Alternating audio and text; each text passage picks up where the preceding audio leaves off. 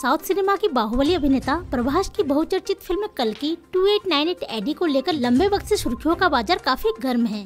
निर्देशक नाग अश्विन के डायरेक्शन में बनने वाली इस मूवी को लेकर फैंस में रिलीज़ से पहले ही ज़बरदस्त हाइप देखने को मिल रहा है। इस बीच कल की 2898 एडी के ट्रेलर को लेकर बड़ा अपडेट सामने आ गया है और मेकर्स की तरफ़ ऐसी ट्रेलर रिलीज़ डेट की घोषणा कर दी गई है। ऐसे में आइए जानते हैं की प्रभास स्टारर इस फ़िल्म का ट्रेलर कब सामने आएगा। कल की 2898 एडी के टीजर और पोस्टर को देखने के बाद फैंस का उत्साह काफ़ी बड़ा हुआ है। हर कोई इसके ट्रेलर रिलीज़ डेट का बेसब्री से इंतज़ार कर रहा है। इस बीच मेकर्स की तरफ़ से प्रशंसकों को बड़ी खुशखबरी दे दी गई है। बुधवार को कल की 2898 एडी के निर्माताओं की तरफ़ से एक्स अकाउंट पर ये जानकारी दी गई है कि फ़िल्म का ट्रेलर 10 जून 2024 को रिलीज़ किया गया है। इस अनाउंसमेंट के बाद से फैंस का एक्साइटमेंट लेवल काफ़ी हाई हो गया है और हर कोई 10 जून का इंतज़ार करने लगा है। ज़ाहिर है, जिस तरह से इस फ़िल्म के टीजर ने दर्शकों का दिल जीता, ठीक उसी तरह कल्कि का ट्रेलर भी जून के महीनों में गर्मी का तापमान और अधिक बढ़ा देगा, जिसकी असली वजह फ़िल्म का धमाकेदार एक्शन सीक्वेंस है। बता दें कि प्रभास के अलावा इस फ़िल्म में अमिताभ बच्चन, दीपिका पादुकोण और कमल हासन जैसे कई बड़े बड़े कलाकार अहम भूमिकाओं में नज़र आने वाले हैं। आपको बता दें कि ट्रेलर रिलीज़ के कुछ ही दिन बाद कल की two eight nine eight AD सिनेमाघरों में दस्तक देगी। फ़िल्म की रिलीज़ डेट पहले ही सामने आ चुकी है,